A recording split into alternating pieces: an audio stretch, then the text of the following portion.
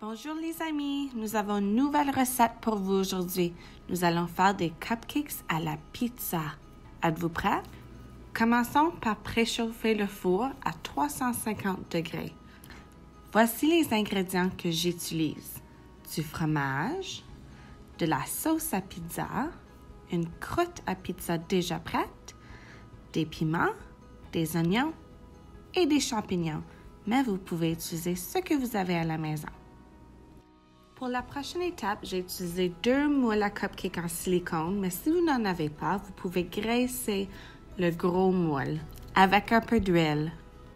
Avec des ciseaux propres, j'ai coupé deux carrés assez grands pour couvrir le bas des deux moules en silicone. Ensuite, j'ai rajouté la sauce et les légumes que j'ai choisis. Ensuite, j'ai même trouvé des morceaux de poulet déjà cuits que j'ai décidé de rajouter à mes petits cupcakes à la pizza. Rajoute un peu de fromage avant de les mettre au four.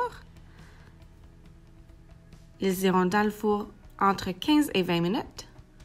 Et voilà, nos cupcakes à la pizza. Bon appétit!